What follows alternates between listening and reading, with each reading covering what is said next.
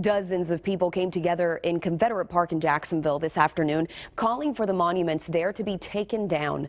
The group Take 'em Down Jax organized today's rally and a panel discussion on Confederate monuments that followed. Many see the monuments as a symbol of white supremacy.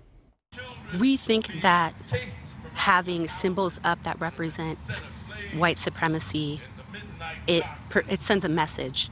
It perpetuate, perpetuates a message a group that says Confederate flags and monuments are about Southern heritage waved flags on the overpass where Chaffee Road goes over I-10.